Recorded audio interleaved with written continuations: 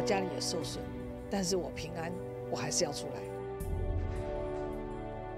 我家里虽然有受损哈，但是我还是愿意出来做。你其实每个家里的东西都全部都一定会掉下来，看到这种灾难，老汉就穿上蓝天白云。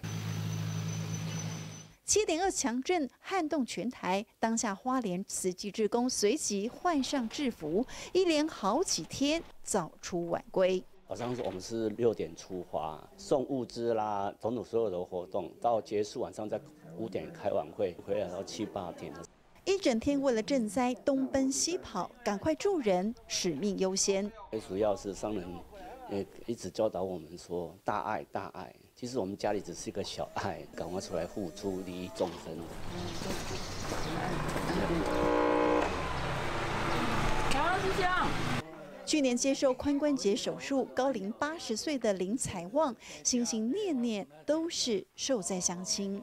第当哦，我想我就是就想讲，出来讲到到三更。他开刀了以后，身体越来越那个，所以这次也心有余而力不足。